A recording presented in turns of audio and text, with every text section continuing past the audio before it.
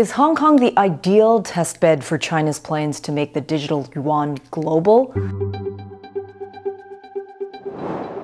Welcome to the Daily Forkast, February 17, 2022. I'm Angie Lau, editor in chief of Forkast, covering all things blockchain. Well, Hong Kong has long been known as an international financial hub, and now it's set to pilot retail cross border use of the eCNY. We're going to take a look at why experts believe the city is an apt choice for testing international payments using the digital currency, plus a whole lot more coming up. Let's get you up to speed from Asia to the world. Join thousands of NFT traders who already start their day on CryptoSlam. Let's kick off with some of the biggest stories coming out of Asia today. First up, more crypto and sports bedfellows to tell you about.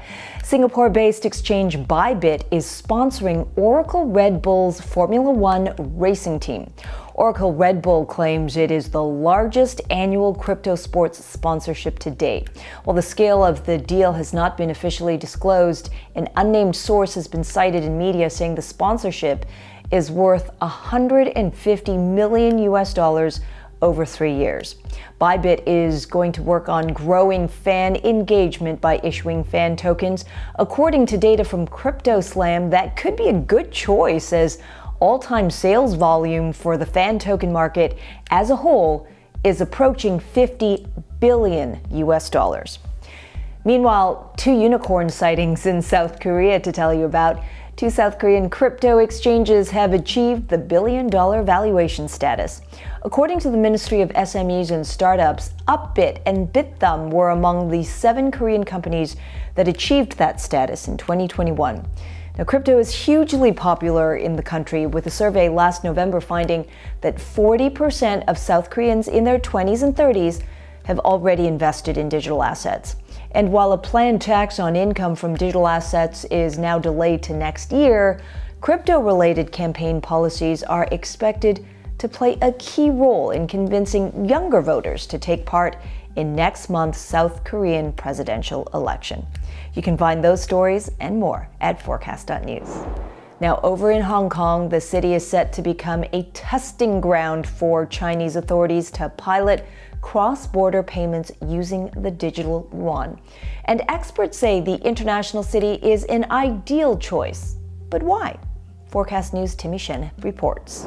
Hong Kong's position as a bridge to the world is well established with the city already a primary offshore yuan trading center.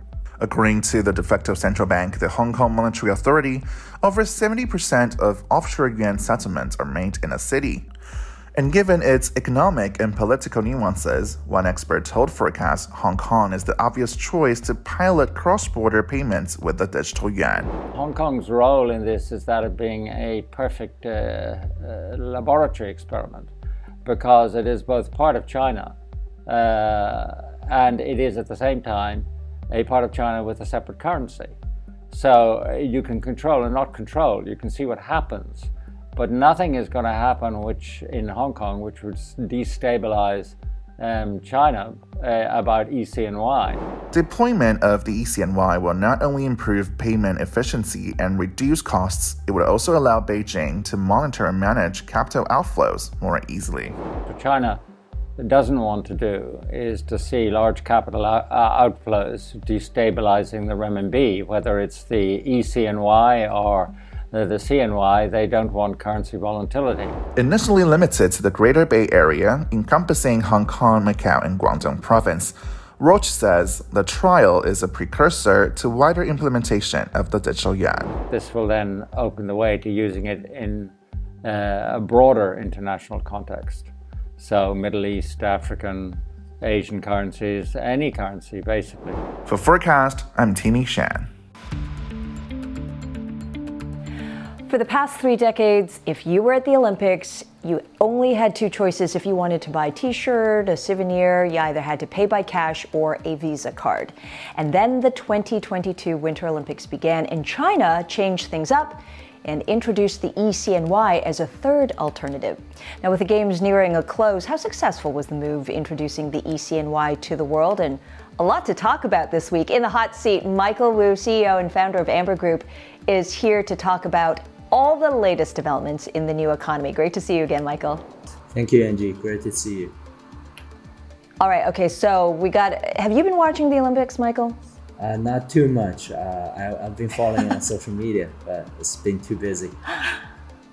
I, I, think that's been the case for the Olympics, but it has been a very interesting Olympics so far. Beyond sports, a lot of netizens have been keeping a close watch, not only on the games, but actually the push for ECNY. What, what's the read as you see it so far?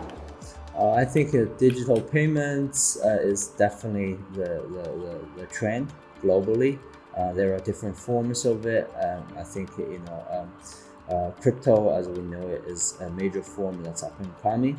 Uh, the the other types of digital currency, such as CBDCs like ECNY, is also you know being rolled out.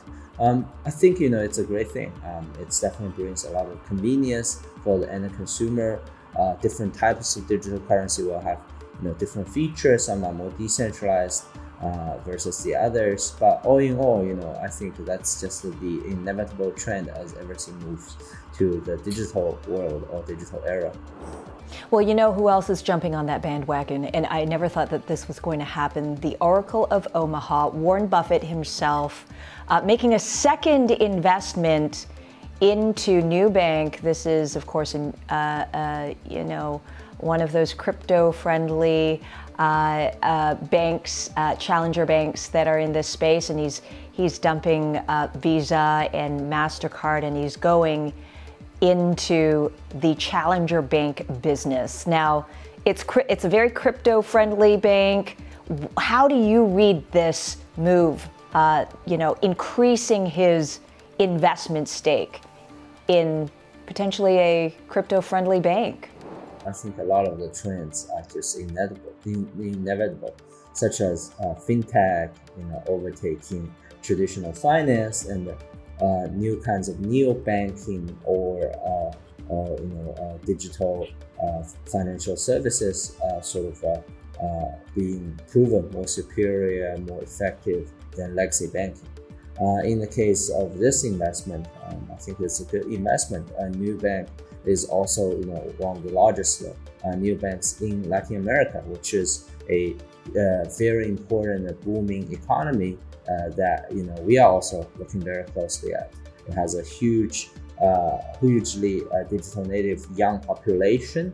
a lot of them you know don't actually have legacy banking account, but they have you know internet access. so instead of you know, having their first bank account, now they have their new bank account.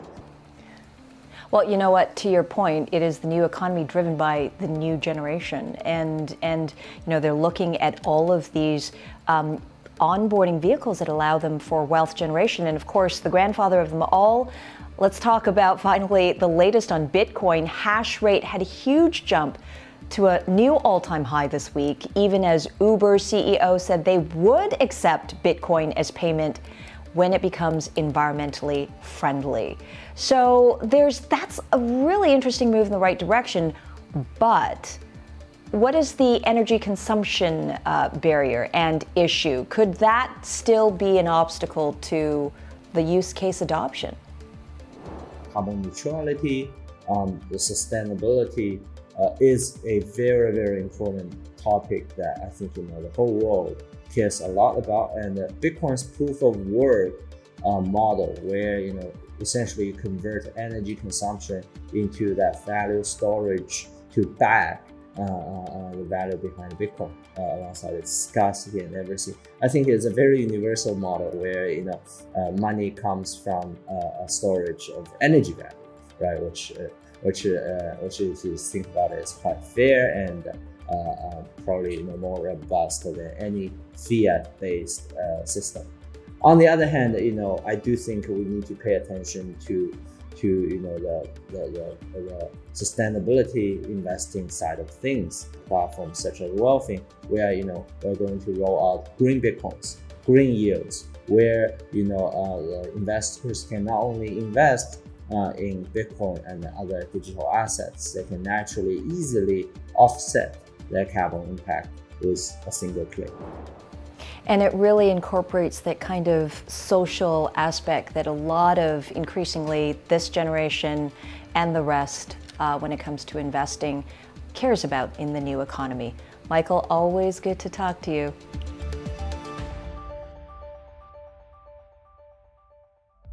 And that's the daily Forkast from our vantage point right here in Asia. Hit like, hit subscribe, hit that alert button. We appreciate it always. For more, visit forkast.news. I'm editor in chief Angie Lau. Until the next time.